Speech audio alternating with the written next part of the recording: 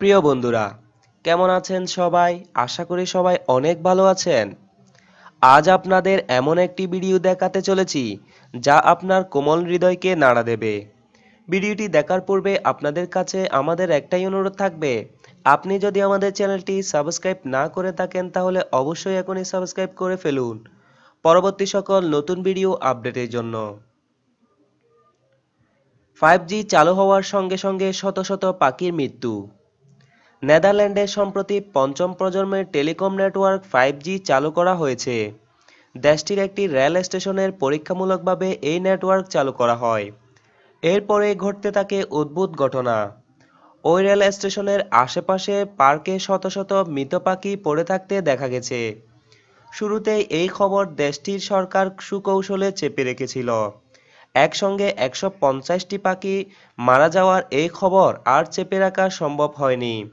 সব মিলে মোট মৃত পাখির পরিমাণ দুইশো সাতানব্বইটি। সম্প্রতি একটি পার্কের পাশেই একটি রেল স্টেশনে ফাইভ জি নেটওয়ার্ক পরীক্ষামূলকভাবে চালানো হয়েছিল। এই সিগন্যাল কতদূর পৌঁছায় আর পরিবেশে কোনো ক্ষতি করে কিনা তা জানাই এই পরীক্ষার মূল উদ্দেশ্য ছিল। অবশেষে এই পরীক্ষার পরিবেশে বিশাল ক্ষতি হয়ে গেল। মৃত পাখিগুলো গাছ থেকে পড়তে থাকে। পাশে পুকুরে সাঁতার কাটতে থাকা হাঁসগুলো অদ্ভুত আচরণ করতে শুরু করে। পানির নিচে ডুব দিয়ে এই তরঙ্গ থেকে বাঁচার চেষ্টা করেছিল হাঁসগুলো। যে সময় এই পাখিগুলো মারা গেছে, ঠিক সেই সময় পাশের রেল, রেলওয়ে স্টেশনের ফাইভ জি নেটওয়ার্ক পরীক্ষা কাজ চলছিল।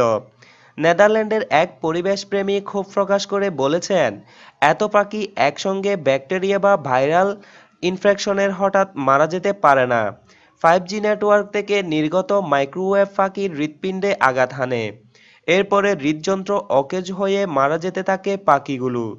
ফেসবুকে জন কোয়েলস নামের ওই পরিবেশপ্রেমী আরও বলেন, অনেকেই মনে করেন কম শক্তির মাইক্রোওয়েভ আপনার কোনো ক্ষতি করতে পারে না। তবে একটি ইন্টারনেটে ঘাটাঘাটি করলে জানতে পারবেন এই তরঙ্গ কতটা ক্ষতিকর ও ভয়ানক। দেশটিতে ইতিমধ্যেই ফাইভ জি নেটওয়ার্ক বন্ধ করার জন্য ইন্টারনেটে মুভমেন্ট শুরু করেছেন জন। Stop five G dot net website থেকে তিনি ফাইভ জি নেটওয়ার্ক থেকে হওয়া সম্ভাব্য ক্ষতির ব্যাপারে সাধারণ মানুষকে সচেতন করার কাজ শুরু করেছে।